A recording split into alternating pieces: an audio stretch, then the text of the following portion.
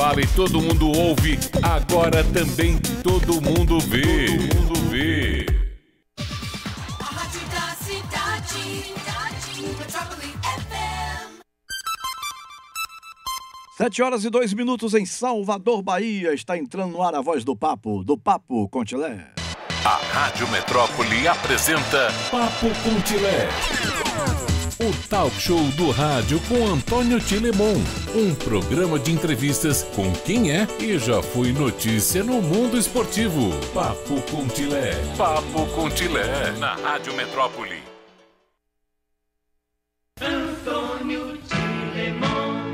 Olá, boa noite. Estamos chegando para mais uma audição do programa Papo Contilé aqui pela Metrópole FM 101.3.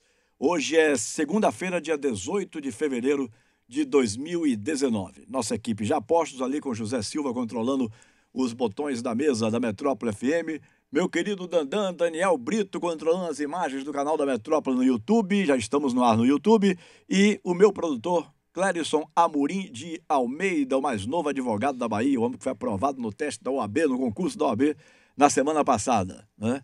É, e agora está se formando em jornalista. Esse gosta de estudar, graças a Deus. É, por isso que virou o homem de bem que é, né?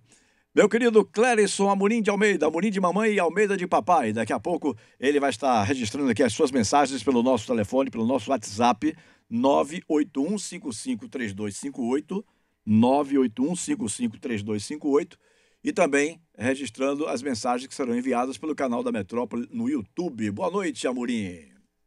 Grande abraço a você, Tilé, um abraço a todos os ouvintes. E nosso querido Edson Marinho estava aqui na linha, qual a gente manda um grande abraço ligado no Papo com Tilé. Você, ouvinte, vai poder participar, interagir pelo WhatsApp também, através do nosso portal no YouTube. Metro 1, só procurar e mandar sua mensagem.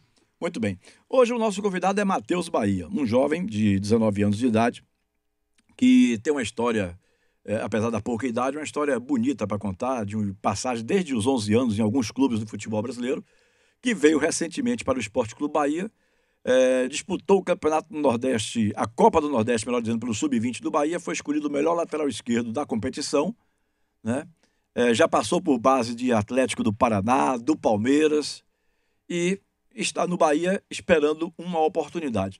Mas é que eu, é, pesquisando sobre o Matheus, é, é, o que me chamou a atenção foi exatamente é, essas passagens por grandes clubes, né?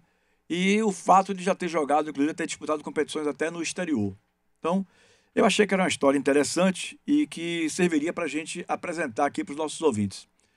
Aqui no Papo Contilé, a gente sempre procura né, é, histórias diferentes, histórias novas, é, para que a gente possa passar para os nossos ouvintes para não ficar na mesmice. Essa que é a grande verdade. Né? É, recentemente, por exemplo, tivemos um papo aqui maravilhoso com Flávio e Fernando, os irmãos gêmeos. É um fato raro, irmãos gêmeos jogando juntos no mesmo time, ainda mais num time de Série A. Né? E ontem os meninos mandaram ver, viu? Jogaram bem pra caramba os dois ontem, o Fernando e o Flávio. É, tiveram assim a primeira oportunidade, eu imagino a emoção dos dois. Quero até mandar um abraço aqui para os dois, eles curtiram aqui a publicação é, nas nossas redes sociais da matéria é, do nosso card, videocard, é, chamando a entrevista de hoje com o Matheus. Né? Um abraço para você, Fernando, um abraço para o Flavinho, que eu já conheço é, há mais tempo. Fui lá da Antônio de Assessoria, na época que eu passei é, na empresa, nos meus 23 anos de Antônios. Né? Ele, no Vitória, fazia parte do, é, vamos dizer assim, do elenco da empresa, né? Porque Antônio chegou a ter 150 jogadores. Era uma loucura você conviver e administrar aquela situação, né? É, é, e o Flavinho foi um desses 150 que passou pela empresa. É, o Matheus, que está aqui do meu lado, é, é, ele é do. ele é representado pelo Ilcinho Crachete. Né? Eu não me recordo assim de ter sido apresentado ele algum dia. Já ouço falar, claro, quem é que não sabe quem é Ilcinho Crachete. Mas não tive o prazer de conhecê-lo pessoalmente. Né? Mas o Matheus está aqui é, para contar um pouquinho da sua história. Boa noite, Matheus. Obrigado, viu, querido, pela sua presença aqui no nosso programa. Boa noite, boa noite, Lemão. Boa noite a todos os ouvintes. É, queria passar aqui para falar um pouco da minha história, né? Uhum. Apesar da pouca idade, eu tenho uma rodagem boa aí. E exaltar o Wilson, que você falou aí agora há pouco, né? Que é um cara que sempre me ajudou, sempre foi um paizão. E tá comigo nessa trilha até hoje. É, você, desde que começou, é, vem sendo trabalhado por ele, né? Sim, sim, desde quando eu comecei. na verdade, eu comecei aos 11 anos, né? 11. Isso, aos 11 anos eu entrei na base do, do rival, do Vitória. Passei dois anos no Vitória e assim que eu fui dispensado do Vitória, eh, eu conheci ele. Uhum. E aí, a, a Até então, daí... no caso, não era. Né? Até então, não. Tá. Até então, no não... momento que você foi liberado é, do Vitória. Né? Isso, isso. É, por que, que eles liberaram, Matheus? Pra mim, alegaram tamanho e força, né? Na época. Não, não era questão de, de técnica nem talento. O negócio Uhum. era tamanho e força, que eles queriam eh, jogadores fortes, com porte maior, pro, resto Eu do sei ano. bem o que é isso. Eu sei bem o que é isso. Na época, é, o Wesley Carvalho, eu acho que foi, é, não botava nem o Jean para treinar, dizendo que ele seria um goleiro de totó. Sabe o que é goleiro de totó, né? Aqueles, aquele negócio, pé bolinho que chamam também, né? Que você fica jogando e tal. Porque, de fato, apesar de um pai alto, Jean, e uma mãe alta, Andréa, Jean só veio esticar realmente depois dos 16, 17 anos. Então, esse Wesley Carvalho dizia, que hoje está até no Palmeiras, dizia que ele seria um goleiro de totó. Isso, inclusive, criou um problema psicológico de um dia chegar na porta do Barradão e dizer: a partir de hoje eu não entro mais aqui. Entendeu? Foi assim que se deu essa passagem de Jean na base eh, do Vitória. Estou vendo aqui mais um exemplo, né? Eh, de que não tinha corpo, não tinha. Né? Uhum. É, como se fosse franzindo ainda, franzindo pra... Agora, o que, é que você pode esperar e cobrar, rapaz, de um jovem de 11, 13 anos de idade? Não é? Com 11, 13 anos, o cara pode ser fortão, não é. A não ser que seja gato. Hum. Eu vi um caso aí sábado, olha, poxa, o cara até minha. É, o rapaz diz que tem 18 anos, mas ali no mínimo tem uns 23. No mínimo. Mas não vamos falar disso não, porque isso aí foi um infortúnio, uma infelicidade, ele levou um tiro.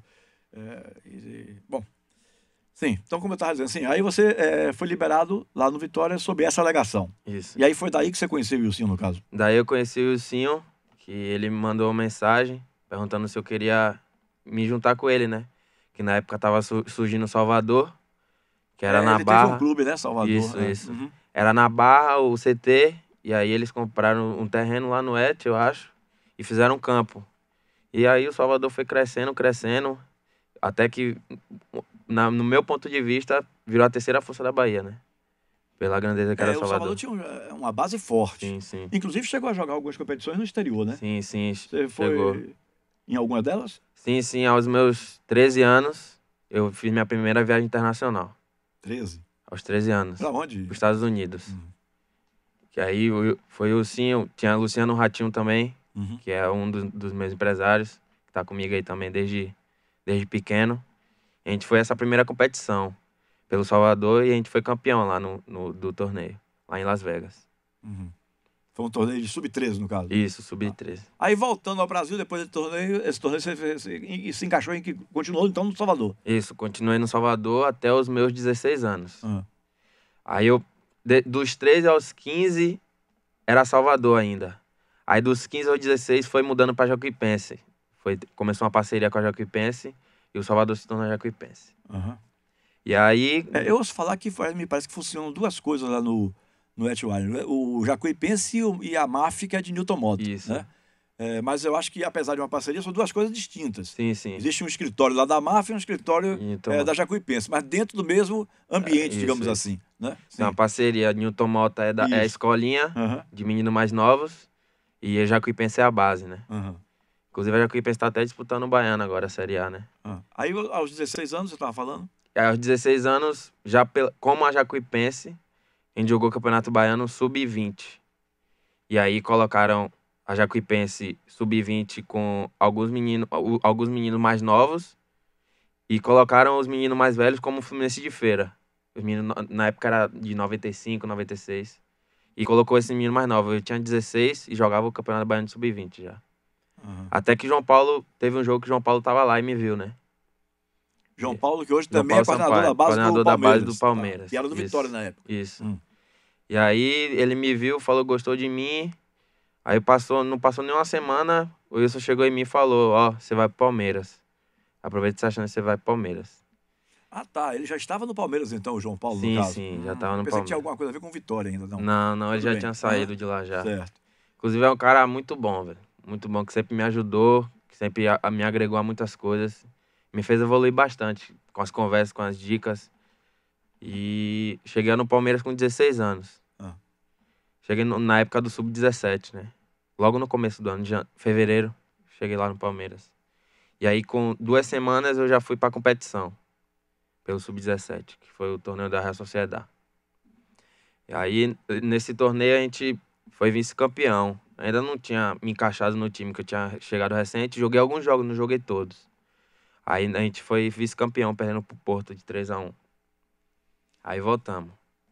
Essa competição foi lá em.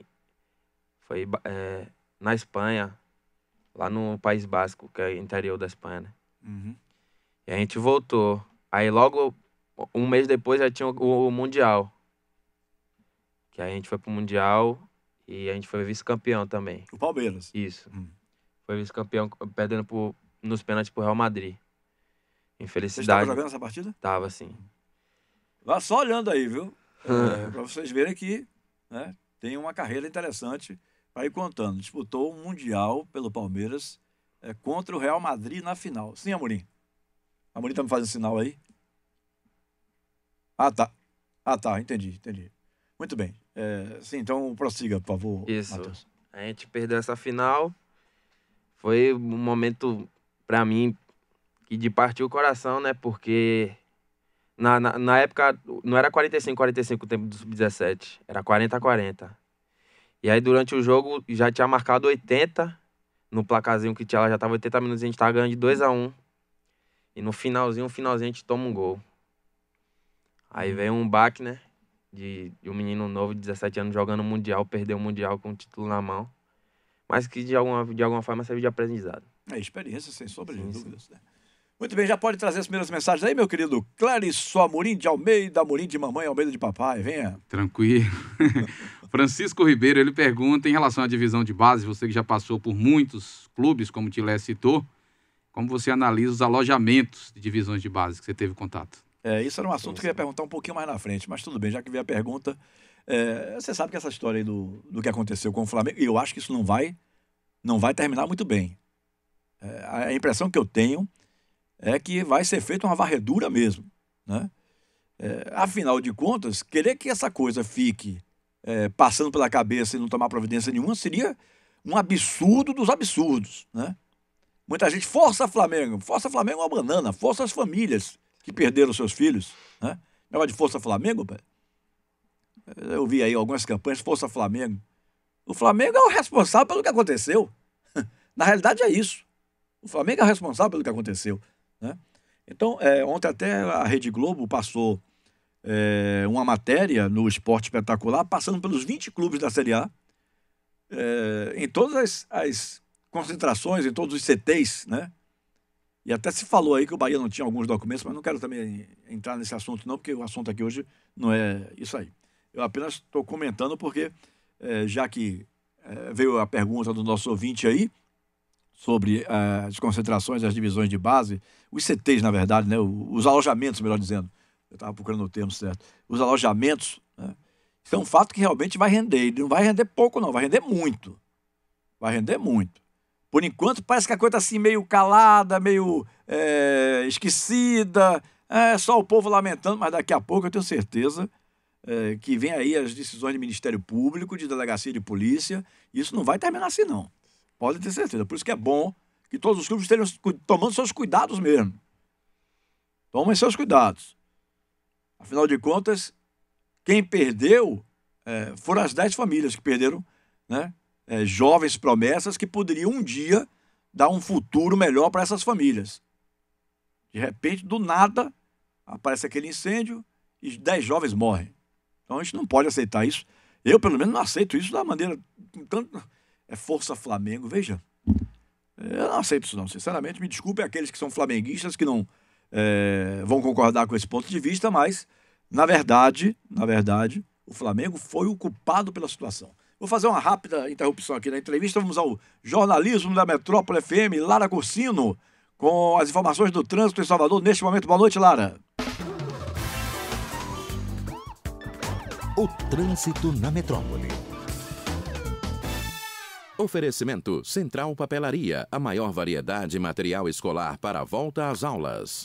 Boa noite, Tilé. Boa noite a todos os ouvintes.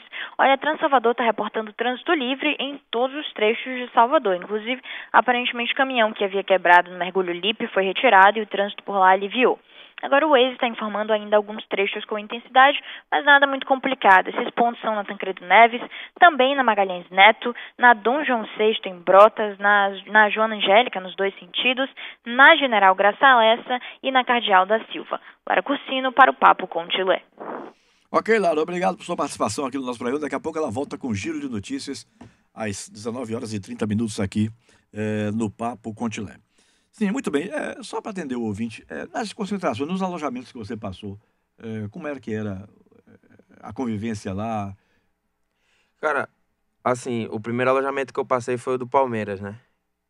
É, porque no Salvador você estava aqui junto com a Isso, família, aqui né? eu É. sou de Salvador mesmo. No Palmeiras, no começo eu ficava no casarão, que era dos meninos mais novos, de até, até o sub-17, que fica no casarão. Que são, se não me engano, são quatro ou seis por quarto. E a partir do 17 para cima até 20, fica numa casa, são duas casas. Casa normal mesmo, Uhum, que tem en- entre três, quatro quartos. Não é o dos melhores, não. uhum. Te digo porque eu passei um ano e meio lá no Palmeiras e depois eu me mudei para um apartamento, mas eu passei um ano e meio lá no, no, aloja- no alojamento.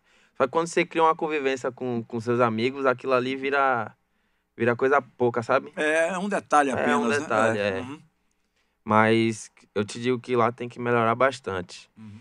Já no Atlético é coisa de outro mundo.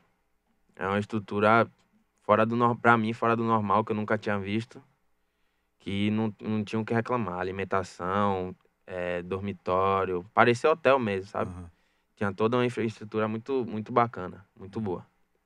Então, é, se for comparar Atlético com Palmeiras, você acha que o Atlético tem oferece melhores condições? Sim, porque o Atlético trabalha muito mais pra base, né? Uhum, O é. Atlético se preocupa muito mais em revelar jogador do que o Palmeiras, ho- É. hoje.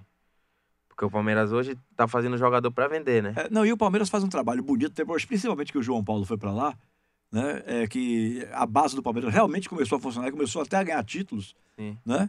É, mas só que o Palmeiras tem uma grande preocupação, ele está contratando medalhões, medalhões, quer dizer, pouco espaço vai dar a quem surgir da própria base. O cara tem que ser um fenômeno para chegar de uma base a um profissionalismo, é, a um profissional, perdão, a um time profissional de um Palmeiras. Tem que ser um fenômeno. Va- vão passar vários jogadores de boa qualidade técnica, mas que não serão aproveitados. Sim. Essa que é a grande realidade, né? Mas, meu querido Amorim, você que está aí caladinho, só pesquisando ali e tal, como é que é? As- Algum- Algumas participações, o Tiago Fernandes, um abraço. Gabriel Marques diz: Esse é meu irmão, um orgulho. Marco Júnior, Matheus Bahia, melhor lateral esquerdo, sub-20 do Brasil. E o Ângelo Montenegro faz uma pergunta, Tila, ainda nesse assunto em relação à, à divisão de base. Ele dá o que boa noite e diz: Tilemon, quais os clubes da Série A e Série B têm uma estrutura boa para atletas juvenil ou de CT de base? A pergunta vai para você. É, eu não assisti a matéria de ontem, mas disse que ontem a Rede Globo no Esporte Espetacular. é, você que tá. Como é o nome dele? Ah, é Ângelo Monte. Eu falei Montenegro, mas na verdade, Ângelo Monte Ângelo. É, esses nomes de. Monte Ângelo, tá? É, É, esses Ângelo, vou nomes. chamar de Ângelo. então. Ângelo, É. Ângelo. É, Ângelo, você é, deve ser um jovem, né? E esses jovens hoje em dia dominam muito mais a internet do que nós, sexagenários, né? É, então, é, pesquisa aí o programa de ontem, o Esporte Espetacular de ontem, é, na internet, que tem, você vai achar. Diz que ontem a Rede Globo, eu não vi, não tive a oportunidade de ver realmente. É, a Rede Globo passou é, falando sobre os 20 clubes da Série A. Não falaram de clubes da Série B. Né? Falaram de clubes da Série A. Então, aí, Ângelo, você vai. é, certamente vai estar muito melhor informado do que eu, porque eu já deixei de empresariar há cinco anos, mais ou menos. Então, eu já não tenho essa convivência diária nesse meio, nesse ambiente aí e tal, para lhe dizer quais seriam os melhores. Eu sei que os nossos aqui têm de mediano a bom. Se não é nenhuma coisa fantástica, também não é dos piores. Né? Bahia e Vitória. É, mas é, é, eu não saberia lhe dizer assim, do jeito que você me perguntou, quais são os melhores. Não saberia lhe dizer. O, o Matheus está aqui dizendo que o Atlético do Paraná, e deve ser mesmo, que o Atlético é um negócio do outro mundo, realmente. Falem mal daquele Petralha, fale mal quem quiser. Mas que ele é gestor e botou o Atlético em outro patamar, isso não tem a menor dúvida. Né? Porque tem gente que não gosta do cara e sai metralhando o cara. Esse Petralha ele tem muitos inimigos. Ele, inclusive, queria, José Silva, o Mário, o, o Mário Pe- Petralha, é, impedir transmissão dos jogos por rádio, a não ser que as rádios pagassem também o direito que a TV Globo, por exemplo, paga. E isso ele comprou uma série de inimigos, né? Comprou uma série de inimigos.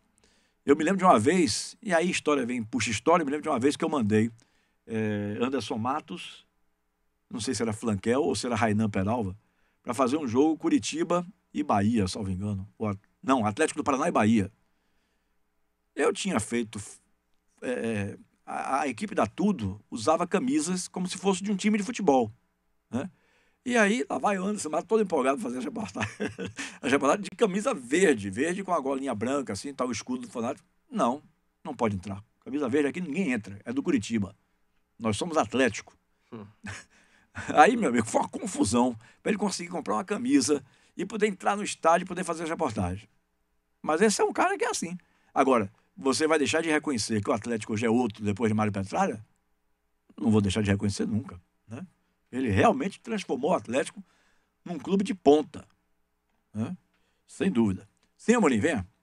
Tem aqui a colocação do. Esse já foi. Então, Ângelo, esse é meu, meu conselho para você. Pesquisa na internet o programa de ontem. Pesquise, grande Ângelo. O Gustavo, Gustavo M. da Silva, Hum. ele pergunta se você chegou a ser reprovado em algum teste de algum clube.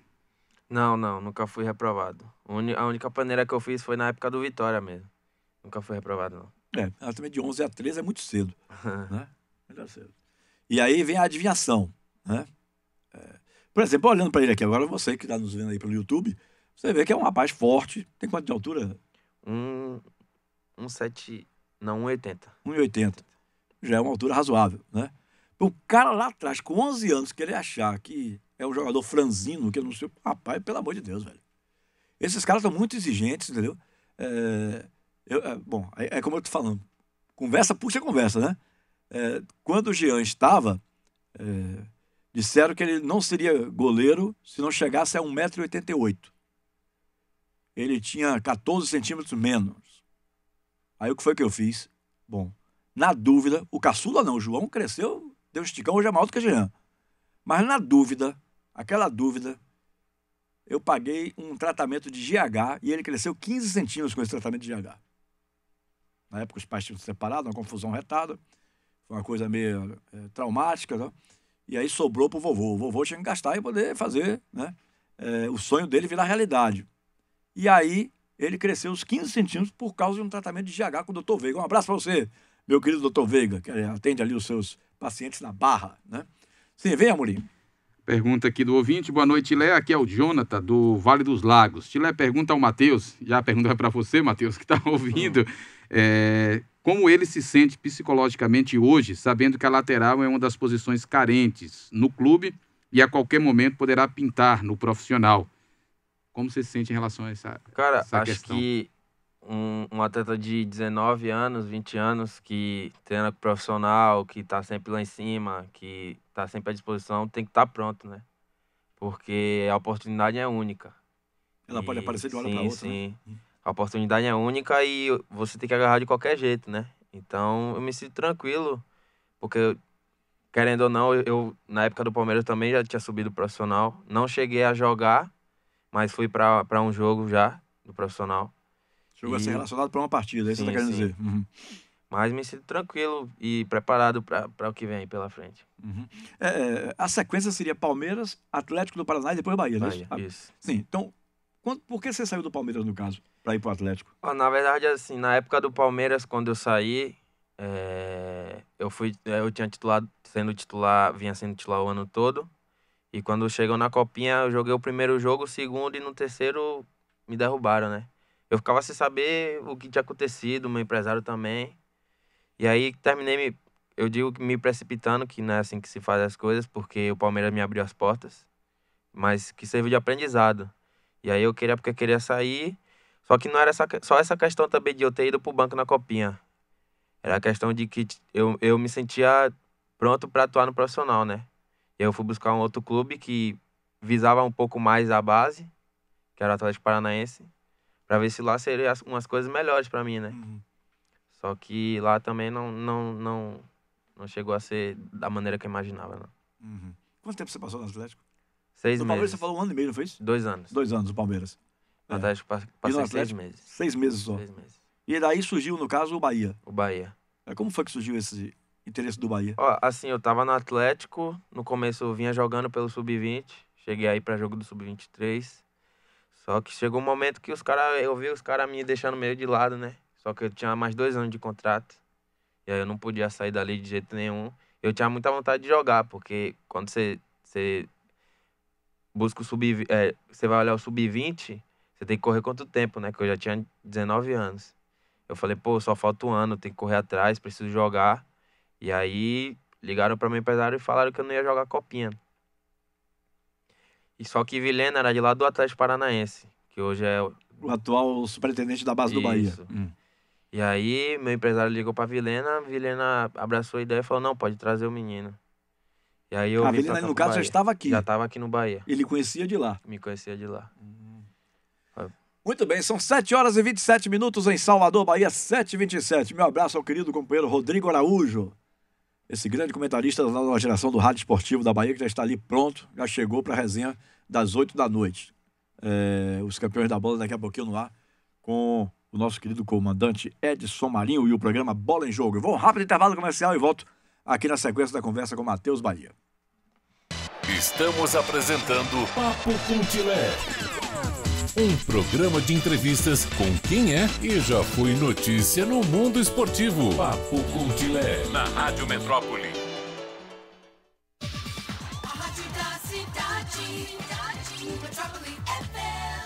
Sabe onde está o IPTU mais bem investido do Brasil? No Hospital Municipal, na nova estação da Lapa, na comunidade Guerreira Zeferina, na piscina olímpica, na Avenida Mãe Estela de Oxóssi, no novo Parque da Cidade, no Subúrbio 360, nas 234 escolas, na requalificação do Bonfim. O IPTU mais bem investido do Brasil está em toda Salvador. Pague a cota única em fevereiro com 7% de desconto. Prefeitura de Salvador, a prefeitura que mais trabalha no Brasil.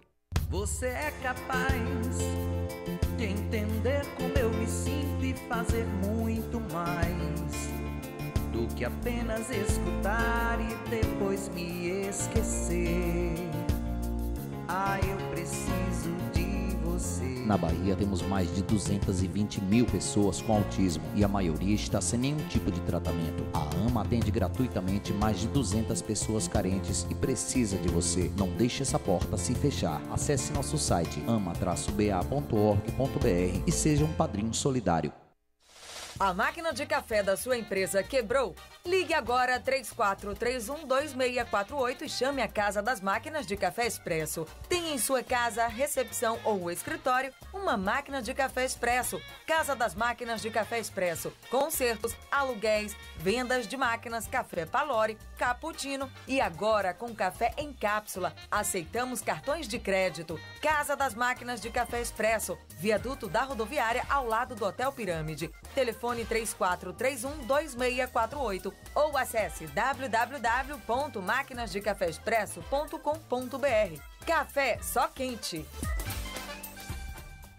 Uau, uau, uau, vida animal, quem é o melhor amigo da gente? Quem é que faz a gente se divertir? E pula da cama e brinca de bola E morde o sapato sem bola na meia Mil travessuras, mil gostosuras Quem é que não ama o seu animal de estimação? Vida Animal, uma clínica que sabe o amor que você tem por ele. Ligue pra gente, 71 3248 4644. Uau! Papo com Tilé, na Rádio Metrópole. Os campeões da bola conectados com você nas redes sociais. Promoções, interatividade e notícias. Curta nossa fanpage no Facebook. Oi, alô, queridos ouvintes do Papo com o Tilé, tudo bem com vocês? Meu nome é João Lavi e hoje eu queria convocar todo mundo para irem no Emoba se cadastrarem para vocês serem doadores de medula óssea. Só basta doar 5 ml de sangue. Não dói, é rápido e salva vidas. Então, um beijo, estou contando com vocês, hein? Valeu!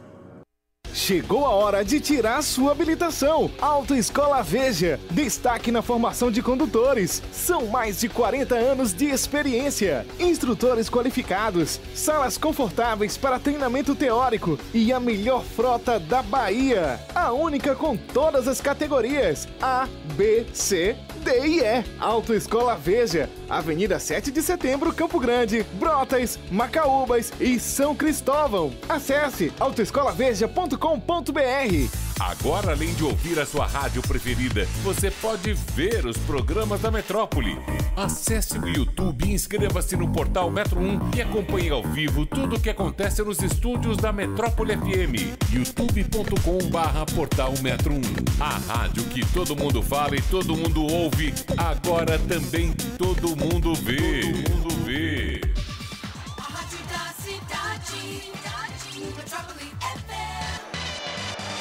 Papo com Tilé. Um programa de entrevistas com quem é e já foi notícia no mundo esportivo. Papo com Tilé. Na Rádio Metrópole. Apresentação Antônio Tilemon. 7 horas e 32 minutos em Salvador, Bahia, 7h32. Um abraço para você, meu irmão Edson Marinho, que acaba de chegar para fazer o programa das 8 da noite daqui a pouquinho. Tá cada dia mais careca, viu, irmão? O telhado aí tá, tá, tá complicado, o telhado aí, viu? Bom, é, Lara Corsino vem aí com as informações do jornalismo da Metrópole FM daqui a pouquinho, né? É, é sempre bom iniciar essa segunda parte, porque aí ela nos libera o restante para não interromper aqui e depois voltar e interromper de novo. Né? Temos o que por aí, Amorim? O que é que nós temos aí de mensagem? Além de, da Eu tô chegada. a Lara chegar. Além da chegada de Edson Marinho por aqui, né? Que chega fazendo o seu auê. Zoado, né? com- Como tal pai, tal filho. Mas diz que não, não quer ser comparado com filho, não, tá vendo? Em, termos de barulho, um beijo, viu, Marinho? Júnior? Ninguém te supera, não. O Marciano Rodrigues pergunta suas características como lateral e quem você admira no futebol. Boa pergunta, boa pergunta. Sim. Pra mim, né? Porque na visão de outros pode ser outra, mas pra mim. É, É, você disse bem agora. É, é, eu sou um cara que tem uma marcação boa e sempre saio bem pro, é, pro ataque, né? Pra apoiar. Isso, e tem um, um, um, um fundamento de cruzamento muito bom. Hum. E Mas você, é, a gente poderia dizer que o seu forte é a marcação ou, acho ou que chegar no fundo. Ah, apoiando. Sim, sim. Não sou de chegar toda hora, mas Aham. quando eu chego, eu chego com eficiência, entendeu? Uhum. E meu, meu ídolo hoje, hoje não, há muito tempo que eu acompanho ele é Marcelo, do Real Madrid.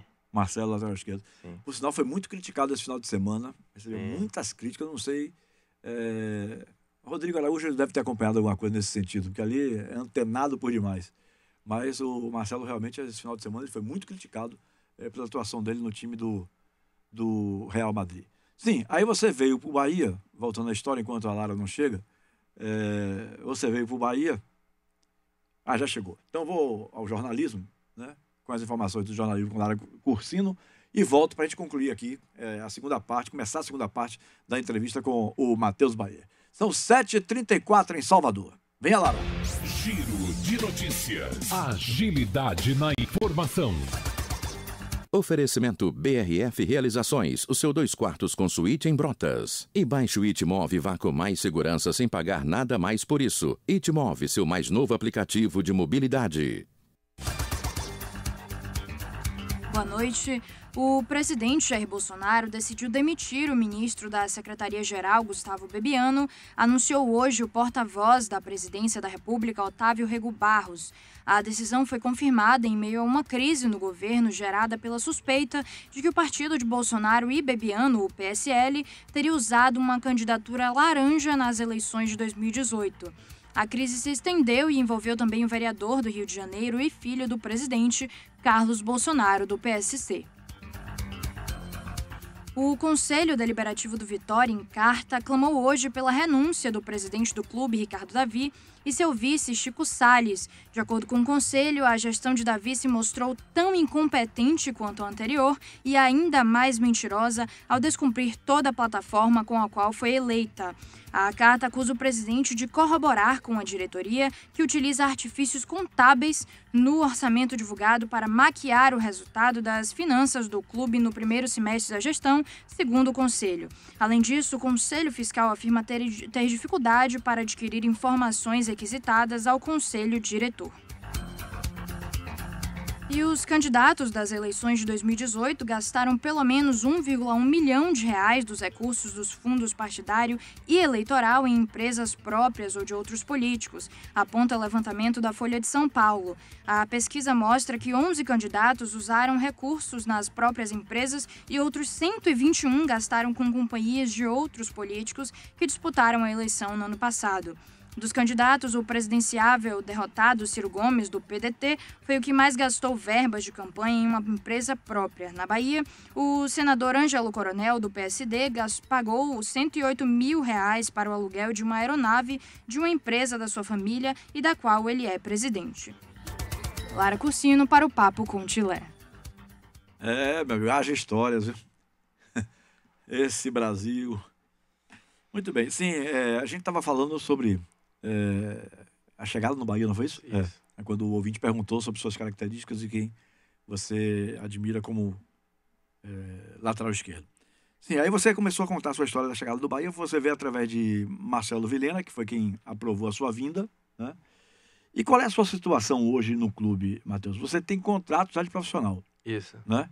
De quanto tempo? Tenho um contrato de um ano e meio Ainda pela frente. ainda pela frente. Você o chegou Bahia. no Bahia quando? Setembro. Setembro. Então você tem apenas cinco meses, digamos assim. Isso. Né?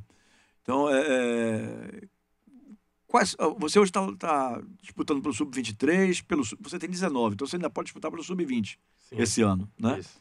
É porque pra, para o futebol, na verdade, ele já tem 20. Porque o futebol, quando vira 1 de janeiro, já passa a ser, é, no caso agora, já passa a ser nascidos em, em 99. Isso. Não é isso? É. Então, ele, para o futebol, mesmo não tendo feito os 20 anos, ele tem 19, mas para o futebol, para a legislação esportiva, ele já está como 20 anos. Então, é, você poderia ainda jogar esse ano, pode, poderia não, pode jogar esse ano pelo Sub-20. Aliás, me conte essa história de ter sido escolhido como melhor lateral esquerdo da competição da Copa do Nordeste Sub-20 que você disputou logo depois que você chegou ao Bahia, não foi isso? Ah, cara, foi uma experiência muito boa, né? De viver com times, de- times diferentes, que eu tava acostumado a jogar no Campeonato Paulista, com outros clubes. E aqui a gente joga com Es- Esporte, Santa Cruz, esses times, né? Foi uma experiência muito boa, me agregou muita coisa, eh, me fez repensar muita coisa. E graças a Deus eu fiz um bom trabalho durante a competição, né? Como você disse aí, sendo escolhido o melhor da, la- lateral esquerdo da competição. Tá. Então você disputou essa Copa Sub-20 já, a Copa do Nordeste Sub-20, pelo Bahia. E, e hoje você está ah, no Sub-20, no Sub-23 ou no profissional? Hoje eu tô no Sub-23. Sub-23. Isso, que disputa o Campeonato Baiano, é, que é meio misto, né? Alguns reservas de profissionais, com alguns do 23. Hoje eu tô no 23. Ah, aquele time que jogou contra o Fluminense de Isso, Feira. Porque ontem já isso. foi diferente. Houve- É, ontem foi. A mescla foi, né? é, com mais os jogadores do time principal. É, mas é, você quer dizer, só para que o ouvinte entenda, foi aquele time que disputou contra o Fluminense de Feira Isso. na primeira rodada do campeonato. Tá? Você está no Sub-23. Sub-23. Mas é, você tem treinado, chega a treinar com o profissional, com, com o Sim, time sim. principal, como é? Sim, sim, o, o Bahia é um clube que dá essa oportunidade, né? De os meninos treinarem com o profissional. E isso que eu valorizei bastante. Que não tem, pro- não tem esse problema de, ah, esse menino é novo, não pode treinar aqui. Não, é tranquilo. é- Essa, essa agregação do sub-20 com o profissional é muito boa. Uhum. Eu tenho treinado sempre com o profissional. Muito bem, vem, Amorim. Tiago Bamor tá com a gente, manda um abraço. Grande Thiago Babô, todo dia ele manda mensagem. É, todo É dia ouvinte, manda. É o 20 fiel aí. Lucas Picanso diz: esse vai longe, um grande abraço. Michele Almeida diz que já é sua fã, viu, Matheus? Diz assim: já sou fã de Matheus desde o Palmeiras, É, na verdade. Ela é palmeirense roxo. É, daqui. Minha querida que já é fã. companheira de hidroginástica, Michele Almeida. Um beijo pra você, Michele. E manda um beijo pra você também, Tilé. Um grande beijo pra para Matheus e também para o Tilé. Essa é uma torcedora do faná- fanática do Palmeiras. Marcos Fábio diz Matheus Bahia titular já. E Tuan, Tuan Lopes, Matheus Bahia titular já. Mais um falando titular aqui. A galera faz uma campanha, na verdade, para ser, pra ser titular. É, vive a expectativa, obviamente, e tem mais oportunidades no profissional, né? Para depois atender o pedido da galera e ser, ser titular. Sim, sim. É, e, e- e aí é até bom a gente frisar que o intuito da matéria não é estar forçando barra aqui para nada. Não, o ouvinte no, no, no YouTube aqui. Ouvinte Não, no eu YouTube. sei, claro. que Três você, na Você está sequência. lendo uma mensagem, não é você que está estou dizendo assim, eu não estou aqui é, fazendo forçação de barra de jeito nenhum. É que eu achei a, a, a história dele interessante, né? É, e eu gosto de trazer coisas meio, é, meio não, coisas diferentes aqui para o programa. Porque senão vira mesmice. Quem tem alguma história, mesmo tendo pouca idade, que ele tem 19 anos, ele tem uma história que vocês acompanharam desde o início do programa, né? É, de várias, não só as passagens pelo Palmeiras, pelo Atlético do Paraná, como já disputou competições no exterior, hoje está num clube como o Bahia, que também é Série A. Né? Não vamos desvalorizar o nosso. Não é que eu esteja querendo supervalorizar Palmeiras e Atlético, não. Mas um jovem de 19 anos de idade que já passou por um Palmeiras pela base. Quem fica dois anos é porque tem alguma qualidade, né? Senão, era logo mandado embora. É, no Atlético do Paraná, que ele ficou menos tempo. Mas aí tinha lá o dirigente, que hoje é o principal responsável pela base do Bahia, que sabe das suas qualidades e o trouxe. Aprovou a vinda dele. Né? Então, certamente, se ele tivesse tido mais tempo no Atlético do Paraná, ele teria tido oportunidades também. É, e agora, no Bahia, ele está em busca é, de uma oportunidade. E eu acho que ela vai acabar acontecendo, Amorim, naturalmente, porque são muitas competições, né? É, o Enderson tem várias competições aí. É, Ele já treina com os profissionais. Então, é aquela coisa, a oportunidade vai aparecer, digamos assim, na hora certa, que não é a nossa hora, é a hora de Deus. Com certeza. né? É quem determina o momento exato de se ter a oportunidade. Um abraço pro meu querido amigo Adailson Amâncio, ele está dizendo aqui, Everaldo. É, Olá, amigo, não deu para ir, mas estou acompanhando a entrevista. Um grande abraço. Um abraço para você, meu amigo Adailson Amâncio. Depois do programa a gente conversa. É, Adailson Amâncio é o nosso querido amigo ouvinte é, e querido companheiro lá do, é, das épocas de eleições é, do Esporte Clube Bahia, né? E meu advogado, inclusive, Adailson Amâncio. Amorim, venha! Tem a colocação do Clóvis Cardoso. Ele pergunta, Matheus, já teve alguma decepção no futebol, apesar de novo? É interessante essa pergunta também. Cara, decepção. Rapaz, eu digo que não, né? Porque eu já vivi muita coisa boa. E no futebol, você não vive só de coisa boa, né? Você tem os seus momentos baixos. Esses momentos baixos eu disse que não foi decepção, não. Acho que serviu de Fases, aprendizado. né? É, tudo, tudo é fase, não tive decepção, não, graças a Deus. É, porque o atleta realmente ele vive nessas indas e vindas assim, às vezes tem uma queda é, Sim, normal, e normal. natural, de, como se denomina no futebol, de fase. né? É, ele não pode ter uma fase negativa permanente, senão ele não fica, mas é, uma vez ou outra ter uma queda é natural, é normal. né? Bom, é, temos mensagens aí, Amorim? Venha, meu querido Clérison Pegou no Eu veio no gosto muito de momento- valorizar as mensagens dos nossos ouvintes, porque é quem me ajuda a fazer o programa. Exato, vem no momento aqui da, da fotografia mais ampla. É para estrear o celular novo, é? Estrear, tô empolgado Ah. com o celular novo, aí ia tirar essa foto para ver se, tinha, se tem a qualidade boa. Cristiano Santos Figura. né? pergunta as suas metas dentro do futebol. Cara, é, minha meta é, claro, virar profissional, né? Ser um grande jogador. Ajudar minha família, claro. Que, que sempre esteve comigo, sempre me apoiou. Em todos os momentos, bons ou ruins. Jogar em grandes clubes. Primeiro, ter uma boa passagem aqui no Bahia, que é o meu clube do coração, né? Que eu acompanho desde pequeno, com meu avô na Velha Fonte Nova. Que Quer dizer, é na o- verdade, você era um torcedor, digamos assim. Sim, sim. Ou é ainda, né? Sim. E tá vivendo essa emoção de jogar no clube que você Com torce. né? certeza. Inclusive, eu fui no, assistir o Bavi e é uma expectativa grande. É uma vontade imensa de, de atuar pelo Bahia e dar essa liga pro torcedor aí. É, rapaz, você me fez lembrar agora de Feijão. Feijão esteve aí sentado nessa cadeira uns oito dias atrás e num determinado momento ele disse que saiu retado, estava assistindo a televisão, ficou pé da vida porque perdeu duas caixas de cerveja na porta do Bavi. Você lembra dessa, né, mulher? Aquele Feijão é uma figura fantástica, né? Ele tem sempre as tiradas dele. Bom, é, venha com outras participações do nosso ouvinte. Tem coisas aí, né? Murilo Landim. Parabéns, Matheus. Bahia joga muito. Tem a participação também aqui de Tem Cristiano. uma torcida assim particular aí que tá se manifestando, né? Os É, amigos. É, pé, Aí, aí é meu irmão, é meu amigo desde pequeno. É amigo, né? comigo aí. Isso é bom, isso é bom. Cristiano Santos também parabeniza, diz que joga muito. Na verdade, a a galera tá mais passando é, incentivo e, e acreditando Legal muito em isso, você, viu, viu, Matheus? Graças Então, a a maioria das, das colocações aqui em relação a isso. João Augusto diz o mesmo também, parabéns. Em breve será o lateral do Esporte Clube Bahia. A galera bem empolgada aqui e, e acreditando muito, Tilé, no, na jovem promessa. Muito bem, são 7h46 em Salvador, Bahia. Eu estou aqui um papo com o Chile hoje, conversando com o Matheus Bahia, do nosso programa. Um abraço aqui também para o nosso querido eh, Adailson, já registrei. Silvio José Marques, eh, que traz aqui uma outra informação. Silvio José Marques está querendo que eu vá buscar ah, eh, no computador. Olha, já está liberando o comprovante de rendimento do, de rendimento do ano passado para os aposentados, como nós, eu e ele. Né? Tá, obrigado, viu, Silvio, pela dica. Já está liberado. Tira- Já posso Gil- começar a pensar no meu imposto de renda, diga. É, rapaz, senão fica igual a Amorim, tem que voltar lá depois para poder pagar os 165.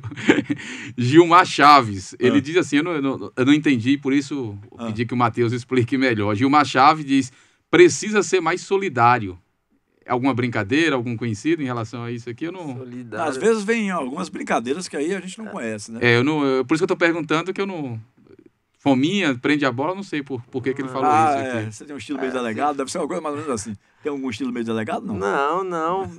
Pelo contrário, né? Eu É. sempre tive a, a maneira da- das pessoas me verem de muito servir o time, né? Ele respondeu aqui, ele fala, é, é jogar mais coletivamente. Então, na opinião dele, você É. tá aprendendo a bola nesse sentido aí. Ele mandou a resposta aqui. Jogar mais observações são coletivamente. interessantes que ajudam, né?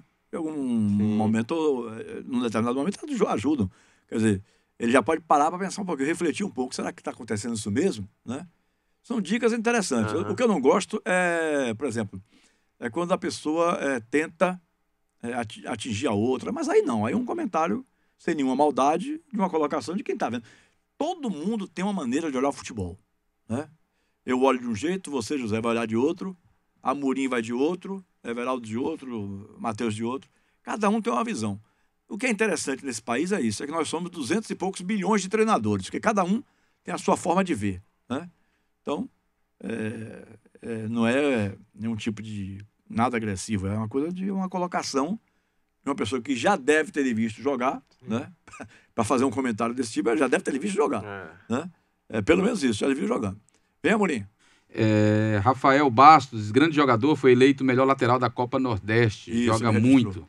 Muito. Tem aqui ainda Carlos Henrique. Parabéns, irmão. Te amo. E é só o começo. Aí fala que Ranan aqui falando. E Gilmar Chaves, aqui já, já respondeu. Cheio de perguntas, viu, Tilé? Mar... Aliás, de colocações. Marcos Fábio, gostaria de saber qual a expectativa dele para o ano no Bahia. E aí pergunta. A minha, minha expectativa é de.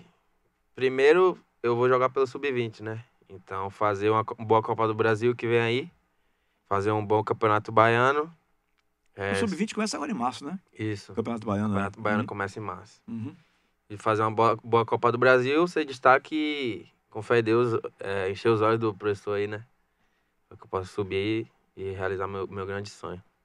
É. Queria ressaltar só Ca- Carlos Henrique, Marcos e, e Hanan, são meus irmãos aí que estão nessa trilha comigo aí desde pequeno também. Um abraço pra todos. Que legal, viu? Ele envolveu aí as pessoas de, de relacionamento dele na, na entrevista, né?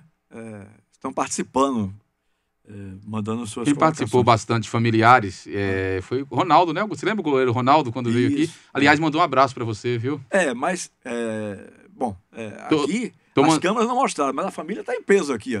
Então, tá o avô, tá o pai, tá o tio, né?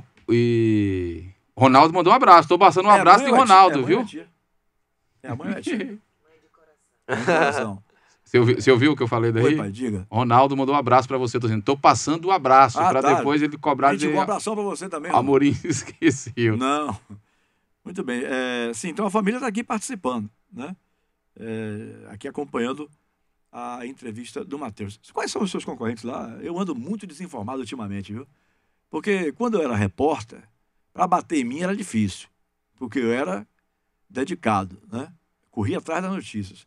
Mas depois que eu vim fazer eh, esse programa de entrevistas, eu confesso que já um pouco de saco cheio de futebol, 43 anos vivendo nesse meio, né, eh, eu passei a não ter. Esse programa não precisa ter notícias. Esse programa é um programa de entrevistas. Então, o que importa aqui sou eu e o convidado. E eu tenho um pouquinho de conhecimento sobre a história do convidado para não falar besteira. Né? Então, como eu já tenho 43 anos nesse meio, eu conheço a maioria das pessoas que eu já trouxe aqui. Estamos chegando no programa 728, salvo engano, aqui na metrópole.